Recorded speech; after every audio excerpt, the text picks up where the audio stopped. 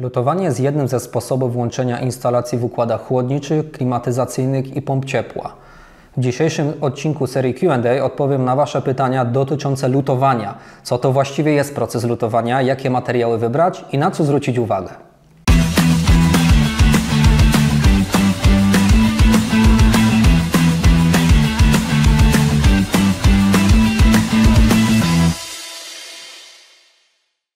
Czym jest lutowanie? Jakie zjawiska zachodzą podczas tego procesu?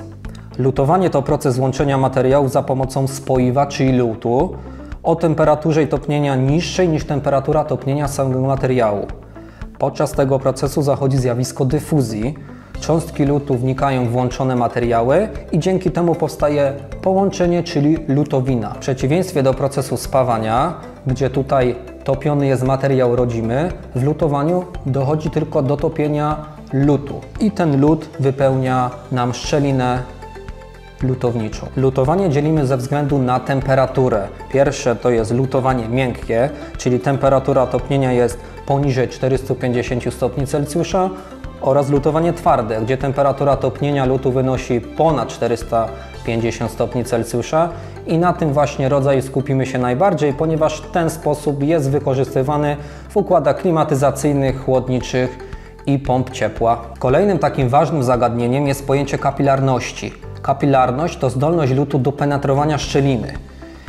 Im mniejsza szczelina, tym lepsze warunki do zadziałania tych sił kapilarnych i tym lepsze wypełnienie szczeliny lutem. Dlatego tutaj ważne jest, aby dobrać odpowiednie średnice rur i złączek, odpowiednie średnice narzędzi do wykonywania kielichów, uwzględnić również pojęcie rozszerzalności cieplnej materiałów, jeżeli połączenie robimy różnoimienne, aby właśnie zachować to zjawisko kapilarności. Równie istotnym mechanizmem takiego procesu lutowania jest zjawisko zwilżania lutu.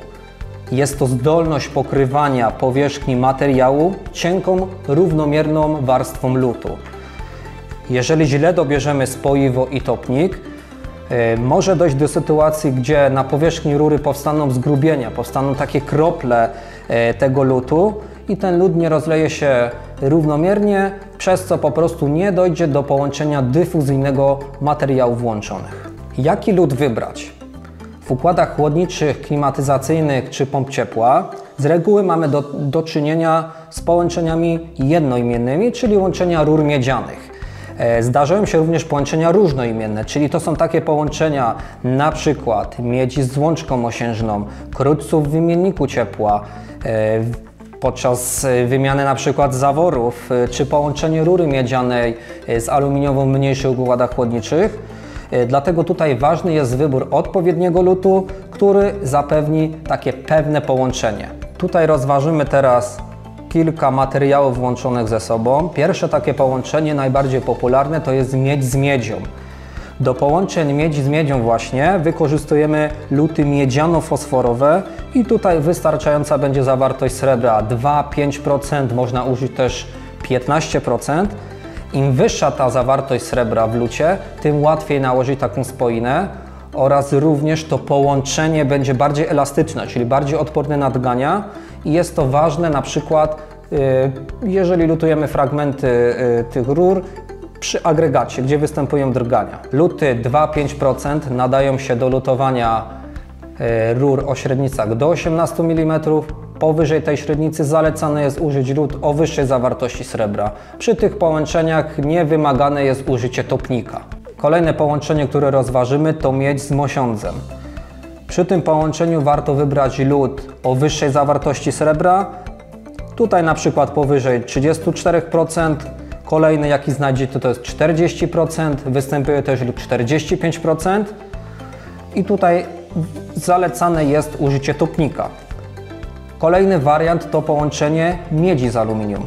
Przy połączeniu miedzi z aluminium należy wybrać lód aluminiowo-cynkowy, który ma niższą temperaturę topnienia od topnienia e, lutu miedzianego. E, wymagane jest tutaj użycie topnika lub również możemy użyć lód, który już zawiera w sobie topnik. Jest to taki lód rdzeniowy.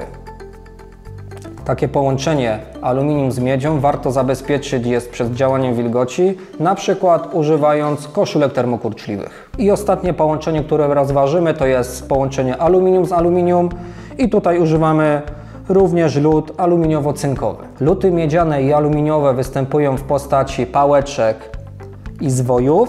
Topniki można spotkać w postaci pasty i proszków.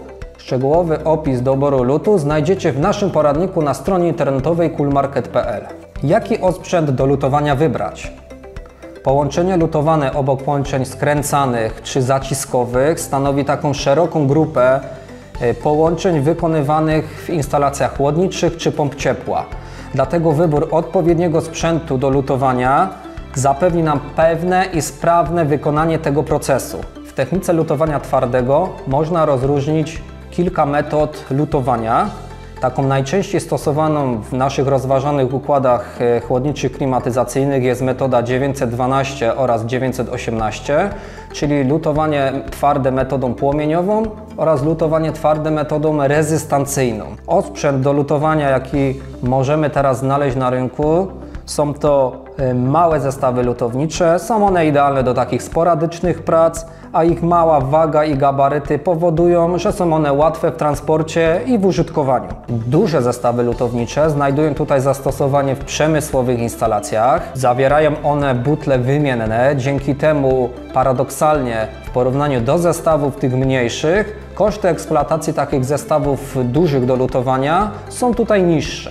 Coraz częściej wybierane przez instalatorów są zgrzewarki elektryczne, które cechują się niską wagą i małymi gabarytami, a takim jedynym kosztem eksploatacyjnym są tutaj de facto pałeczki elektrodowe. Tutaj w tym rozwiązaniu musimy pamiętać, yy, że zgrzewarka elektryczna potrzebuje dostęp do sieci.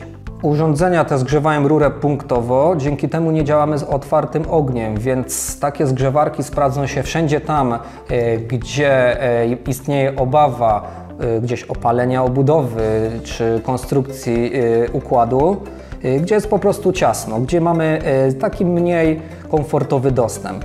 Podczas takich prac lutowniczych warto też rozważyć takie dodatkowe akcesoria, materiały, które ułatwią nam te prace.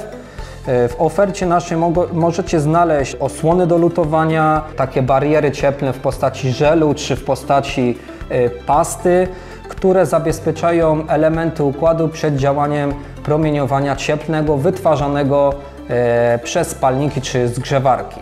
Na co zwrócić uwagę podczas lutowania?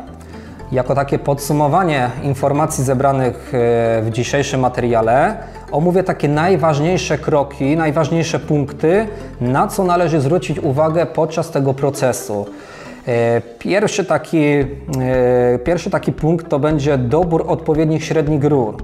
Aby uzyskać omawiane wcześniej zjawisko kapilarności, e, musimy tutaj pamiętać, aby dobrać odpowiednie średnice rur, odpowiednie średnice armatury, złączek, aby były ze sobą dobrze spasowane. Kolejny punkt to dobór odpowiedniego spoiwa. Musimy tutaj na tym etapie sprawdzić, jakie materiały będą lutowane, czy to będą jednoimienne połączenia, czy to będą różnoimienne i wybrać odpowiedni lód. Dobór odpowiedniego topnika. Jeżeli zachodzi taka konieczność, użyć tego topnika, a topnik służy do usunięcia tlenków z powierzchni. Przygotowanie powierzchni rury. Rury po cięciu należy ogradować w celu usunięcia zadziorów. Mogą być one potencjalnymi ogniskami E, nieszczelności spójny zaburzają wtedy płynięcie lutu do szczeliny, dlatego warto przeczyścić powierzchnię na przykład czyścikami lub szczotkami i wtedy uzyskamy lepszą dyfuzję łączonych materiałów. Wybór odpowiedniego sprzętu do lutowania. E, wybór takiego sprzętu, który pozwoli uzyskać dostateczną wysoką temperaturę topnienia wybranego wcześniej lutu. I jeden taki punkt, który często jest pomijany przez instalatorów, a jest istotny, to lutowanie w osłonie gazu. Podczas procesu lutowania należy usunąć powietrze z układu, wtłaczając do niego azot. Azot zapobiega utlenianiu się wewnętrznych ścian rur, a takie produkty utleniania mogą spowodować zanieczyszczenie czynnika chłodniczego, zakwaszenie oleju lub zatkanie zaworu rozprężnego czy elektromagnetycznego. Spełniając te powyższe warunki możemy być pewni, że nasze połączenie lutowane będzie wykonane w sposób prawidłowy i nie dojdzie do wycieku czynnika i awarii urządzenia. Seria filmów Q&A cieszy się Waszym wysokim zainteresowaniem, więc na kanale już niedługo pojawią się nowe materiały, w których odpowiemy na Wasze pytania.